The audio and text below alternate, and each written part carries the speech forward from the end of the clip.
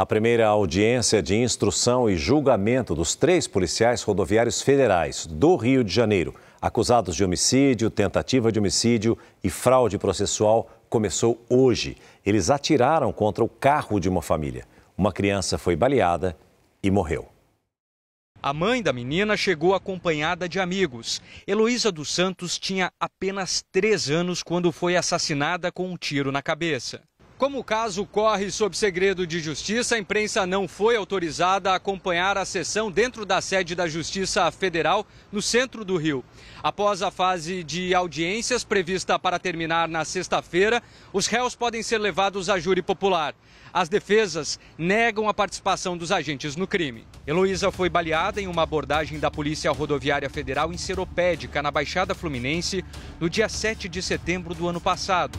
Ela estava no carro com o pai, a mãe, a tia e a irmã. A federal acabou de acertar a filha de alguém no carro ali, mano. Heloísa morreu depois de nove dias internada. Na época, um agente da PRF entrou no hospital Apaisana sem se identificar para ver a criança no centro de tratamento intensivo. A atitude foi considerada uma forma de intimidar a família. As investigações mostraram que os policiais Fabiano Menacho Ferreira, Matheus Domicioli Soares Viegas Pinheiro e Wesley Santos da Silva atiraram contra o carro da família. Os agentes alegam que o veículo constava como roubado. Os réus permanecem trabalhando e recebendo salário.